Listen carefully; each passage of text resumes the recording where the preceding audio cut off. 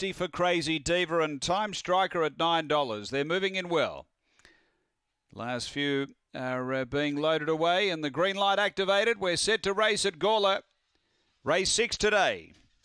Ready. Racing, Dakota Hummer out with Time Striker early. They match it, pushing on Dakota Hummer. Time Striker goes with it. Three out, Crazy Dream. Real race on here from Phantom Call and then Crazy Diva and Burnt Gold. Off the back, locked in battle, Time Striker and Dakota Hummer. Two away, Phantom Call running on. Up to the turn, Dakota Hummer, Time Striker. Then Phantom Call, Dakota Hummer, Time Striker, the Hummer. Dakota Hummer beats Time Striker in a great battle. Uh, then Phantom Call, Crazy Diva, Crazy Dream, and Burnt Gold. The time here is uh, around 23 and 10. Favourite gets in.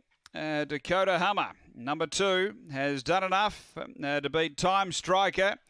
Number one and seven, Phantom Call back in third. Two Dakota Hummer for Colin Symes. Number two first and uh, set outside the speed and just able to do enough late. Second to one time striker, brave in defeat, really fought hard all the way. And uh, third to seven, which is Phantom Call.